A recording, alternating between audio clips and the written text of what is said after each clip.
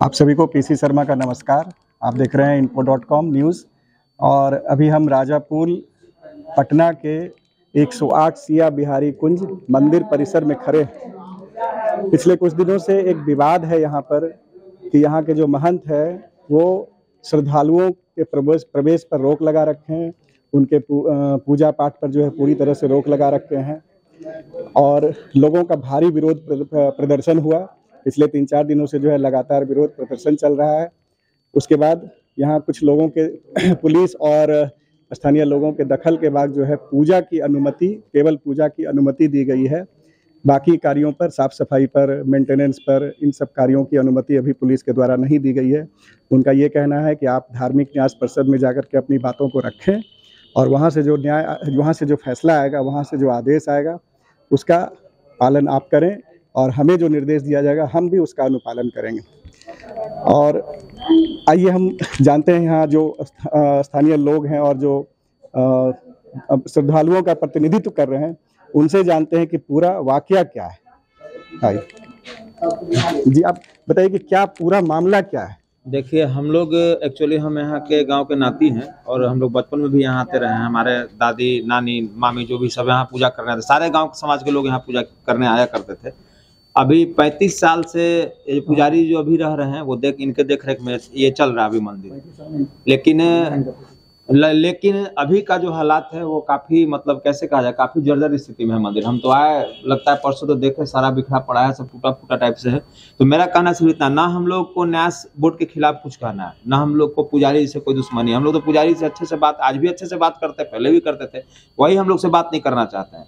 तो हम लोग चाहते हैं कि न्यास बोर्ड इस पे ध्यान दे और जो भी अभी आमदनी आय का साधन है यहाँ पे, लगभग लाखों रुपए करीब होगा मेरे ख्याल से, जितना रेंट लगाया जितना सब हुडिंग लगाई सबसे उस पैसे का हिसाब किताब न्यास बोर्ड ले। और मंदिर, जैसे आज महावीर मंदिर को चकाचक रखा हुआ है ना, न्यास बोर्ड, वैसे ही इस मंदिर को भी करे। उससे भी पुरानी न्यू इस मंदिर की है, अठारह सौ छियासी के मंदिर है। और गाँव का सदा इससे एकदम जुड़ा हुआ है, जो हम लोग मतलब चाह रहे हैं कि अच्छा से इसका सारा सब कुछ हो। ये पिछले दो तीन दिनों से जो है धरना प्रदर्शन हो रहा है कि श्रद्धालुओं को जो है पूजा करने की अनुमति नहीं दी जा रही है। तो क्या अब उसकी अनुमति मिल गई है? अभी तक भी उसकी सर्व सर्व रूप से मत अनुमति नहीं है। यहाँ पहले मटकोर होता था बेटियों का शादी ब्याह का तो मटकोर भी ठीक से नहीं करना दिया जाता है। कुआँ ढका हुआ है। मटकोर बिना कुआँ के विध का नहीं होता है। जिस कुआँ को ढलैया करके ढक दिया गया है तो मटकोर कैसे हो सकता है? तो काफ़ी यहाँ पे दिक्कत है उस चीज़ का। और हम लोग नहीं चाहते हैं कि मतलब कोई भी ऐसा हम लोग अभी तक लोग भले धरना प्रदर्शन इसको बोले लेकिन हम धरना प्रदर्शन बिल्कुल नहीं है। हम लोग सफ़ाई साफ़ करने के लिए यहाँ पे आए हैं कि मंदिर स्वच्छ थोड़ा सा और बढ़िया से भव्य बन जाए बस इसके लिए।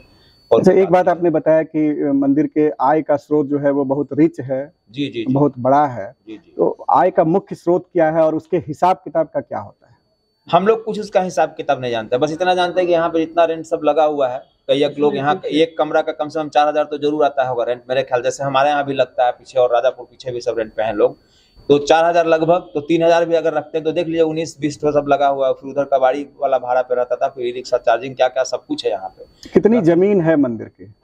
लगभग कितनी ज़मीन? हमारा जहाँ तक जानकारी है यहाँ पे जितना घूम के देख लियो सारा ज़मीन है। बाकी मोहन धरन अ, सरन स्कूल वो सब सारा सब पढ़े ठकुरवारी का ही था।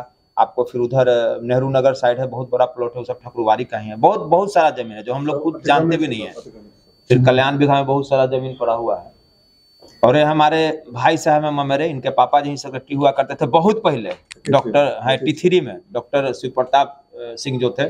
जी आप बताएँ सेक्रेटरीशिप ये सब बंद कैसे हो गया? जब कमेटी बनी हुई थी। फादर लोग थे तो चलाते थे हम लोग बचपन बच्चा थे तो उसमें हम आते आप ये बता पाएँगे कि ये सब बंद कब हो गया? एटी थ्री के बाद ही ये सब। बंद हो गया। उसके बाद लोगों ने ध्यान नहीं दिया। पापा का देहांत हो गया तो उनके बाद से सब कोई फिर संभाल नहीं पालो उसके बाद से स्थिति यही पड़ी हुई है। हमें पता लगा गुरु भाई बताएँ कि चलिए भैया जीर्णोद्वार हो रहा है तो चलिए सब अपना अपना कुछ अनुदान कीजिए सब कुछ मिलकर सफ़ाई वफाई कार्यक्रम सब होगा। हम उसी के चलते हैं। तो हम लोग आए हुए थे जीर्णोद्वार के लिए कार्यक्रम अभी पूजा पाठ में आप लोग किसी तरह की व्यवधान जो है वो उत्पन्न की जा रही है या सब कुछ स्मूथ चल रहा है ठीक चल रहा है? अभी तो कुछ लोग आए दो आदमी आए हैं हम लोग आ रहे हैं तो कुछ लोग आ रहे हैं। जानकारी जो धीरे धीरे लोगों को हो रही जानकारी लोगों को नहीं यहाँ पूजा पाठ होता भी है। धीरे धीरे लोग जो है जुट तो रहे हैं पूजा पाठ के पच्चीस तीस साल से लोग को जानकारी नहीं कि यहाँ पूजा पाठ होती भी है। अब लोग धीरे धीरे आ रहे हैं तो अपना कर रहे हैं।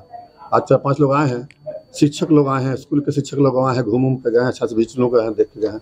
नहीं, ठीक हो रहा काम उधर हो रहा है जी ये था ये बता रहे थे और इस मामले को लेकर के हमने यहाँ के जो महंत हैं, जो पुजारी है, उनसे संपर्क करने की कोशिश की। लेकिन उनके बारे में बताया गया कि वो अभी उपलब्ध नहीं है। इसलिए उनका पक्ष जो है वो नहीं जाना जा सका है।